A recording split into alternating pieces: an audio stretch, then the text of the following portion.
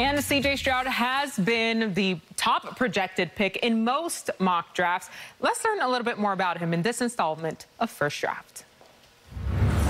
Stroud fires deep down to the end zone, and it is end zone for an Ohio State touchdown. My solid play is free. CJ Stroud still running. Free flowing, but disciplined, dynamic playmaker. With his accuracy, it's a nightmare. Go getter. Wow, what a throw. Just kind of letting what the game comes to me, not forcing anything, but still making sure that my footprint gets put in the game to make plays and show my God-given talent. Touchdown, 31 yards. C.J. Stroud. C.J. Stroud, The Ohio State University, quarterback.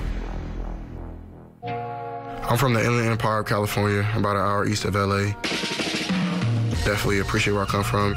When we grow up there, you have to be really tough, and that's something that I pride myself on is my toughness. Stroud fires up the right sideline, and it's caught. My first time ever playing football was when I was five years old. I remember seeing a football field and a whole bunch of kids out there playing, looking like they're having fun. I was like, Dad, I want to play. They're like, what position do you want to play? And my dad said, say quarterback. And I love Michael Vick, and my dad used to always make me watch Michael Vick. And I was like, I want to wear number seven. And I got to play with the SYFL, the Snoop League. And when I played with them, that was kind of where I got that dog into me.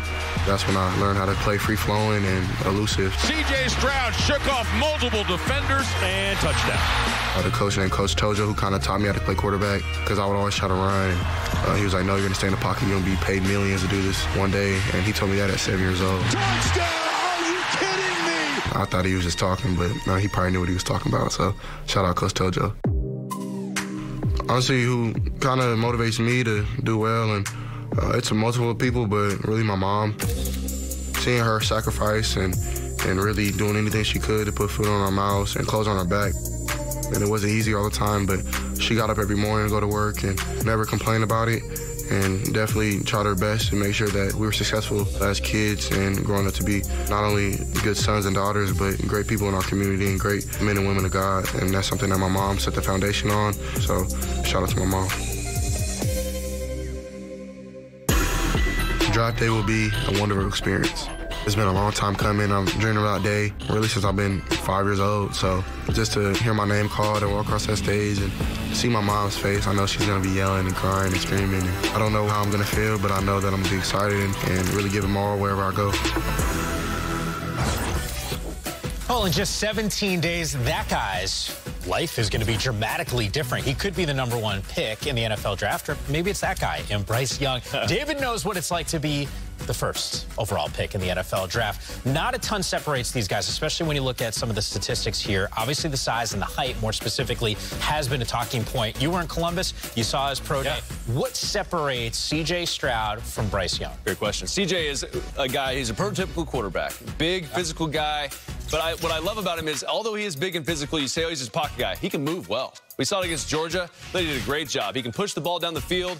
You want to play prototypical football, seven yards deep right behind the center, and ask him to make every throw in the book, he's got it. He's going to absolutely give you no issues, running any style offense you want, and then he can escape. He can get you out of bad situations. Maybe your offense line's not very good. Like at the top of the draft, sometimes that happens, Yam. I don't know if you've heard that. Yeah. Sometimes they struggle, right? But he can get you out of bad situations. And CJ keeps his eyes down the field. He's always looking to make a throw, right? He can run. He's able to do that, as you'll see right here. He has the athleticism to run away from one of the best defenses in college football right? But he's still able to keep his eyes up and make big plays. So he's a prototypical top of the draft guy. Can't go wrong. Struggling offensive lines for young quarterbacks taken high in the draft. A precursor and a little bit of a subtleties of what's still to come here That's right. on Total Access. Bryce Young yeah. does some things differently than C.J. Stroud. What pops on the film? Absolutely. And you can't go wrong with either one of these guys. That's why it's so fun. And he's so different, right? I think when you watch him, obviously he has pocket awareness. Bryce can move, right? And we talked about this in the in the break. He's got a great processor. He gets from the first guy to the second guy, and the ball's out, right? You can clock that with the stopwatch, but you can't coach that stuff.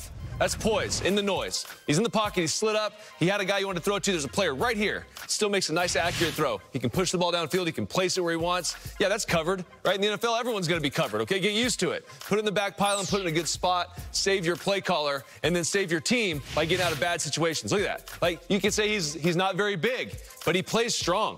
He plays physical. So I don't care what the numbers say right? He's a big player. When he plays, he plays in those big moments. He plays tough. 204 to 214. What are we talking about? He plays good football. I like Bryce a lot. You know what, what's sort of the business aspect of this is not every guy who's going to get here, who's going to get drafted at the end of the month is going to have success. A lot of it comes down to fit. We don't have a dog Absolutely. in the fight. I want all these dudes to do well and, and have success at the next level. But what do you hope happens for these guys in terms of fit? That's great. Personally, I think there's only one way to do this. I really think that regardless of how you feel about either one of these guys, I think CJ goes to Carolina and runs that system. Based on what I've seen from Frank Reich, what they're going to ask him to do, talking to some of those guys, he would be the best fit. I think Bryce goes to Houston. I think Bryce would be excellent in that offense. That you just watched the San Francisco 49ers, how Brock Purdy was plugged in and he just ripped through progressions, talk about how efficient Bryce wants to be, making the most efficient play. That's my dream scenario.